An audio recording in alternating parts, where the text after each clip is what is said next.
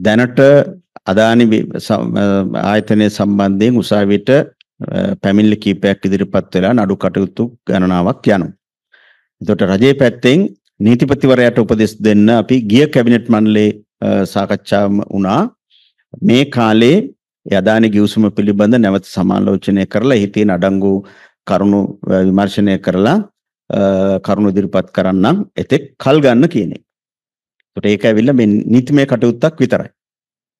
ඉතින් මේ නීතිමය කටයුත්ත අවසන් වෙන තෙක් අපිට අදානි සමාගම සම්බන්ධයෙන් අලුත් තීරණ වලට යන්න බෑ.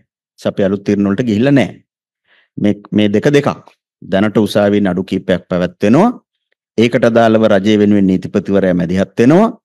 නීතිපතිවරයාට රජය පැත්තෙන් උපදෙස් දුන්නා මේ ගිවිසුම් යම් සමාලෝචනයකට ලක් කරන්න අපිට යම් කාලයක් අවශ්‍යයි. ඒ කාලය උසාවියට ගිහිල්ලා ඉල්ල ගන්න කියලා. ඒ පාර්ශව දෙක අතර ඒ නඩු කටයුත්තට මැදිහත් වෙන ආකාරය. රජයේ විදිහට අපි මේ මොහොතේ අදානි සමාගමත් එක්ක ආපු ගිවිසුම් පිළිබඳ අලුත් තීරණ වලට ගියේ නැහැ. මොකද නඩු කටයුත්තක් තියෙනවා. නඩු කටයුත්ත අවසන් වුණාට පස්සේ අපිට පුළුවන් ඒ තීරණ වලට යන්න. ඒක තමයි මම මේ කිව්වේ.